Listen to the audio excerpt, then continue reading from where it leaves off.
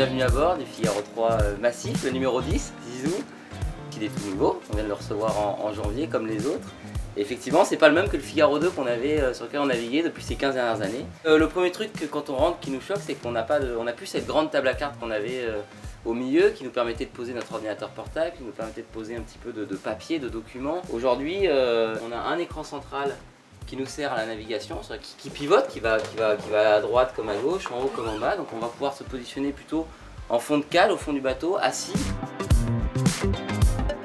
On a aussi un truc qui, change, c'est la cuisine. On avait une belle gazinière euh, il, y a, quelques années euh, où on pouvait vraiment cuisiner. On se faisait des petits œufs bacon, on se faisait euh, des petits plats. Là, voilà, on dispose uniquement de ce truc qui s'appelle un jet boy. C'est pratique parce que l'eau chauffe en 40 secondes.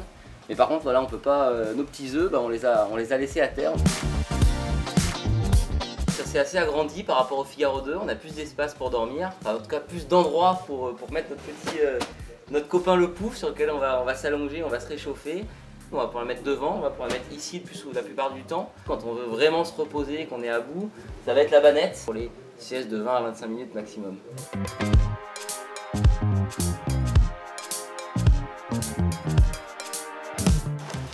Le feuille du Figaro 3. C'est un appendice, c'est un élément du bateau qui va aller dans l'eau et qui va permettre d'avoir un gain de vitesse selon les allures. Plus le bateau va vite, plus on va gagner de la vitesse grâce à ce foil. Alors il va pas nous faire voler comme on peut voir sur les nouveaux bateaux, les ultimes, notamment les trimarans géants. Il va simplement alléger un petit peu le bateau, sustenter déjà dans le bateau. Et plus on va vite, plus il va sustenter le bateau. Donc il va nous apporter un gain exponentiel. Et c'est hyper intéressant, ça remplace les ballasts qu'on avait sur les Figaro 2.